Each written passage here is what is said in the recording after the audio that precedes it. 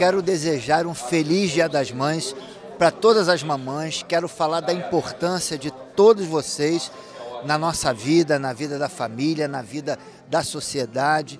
Que Deus as abençoe, que Deus lhe dê saúde, que Deus lhe dê muita paz e que você, mamãe, tenha muita felicidade ou muitas felicidades com seus filhos, com a sua família. Um beijão, mamãe, ó.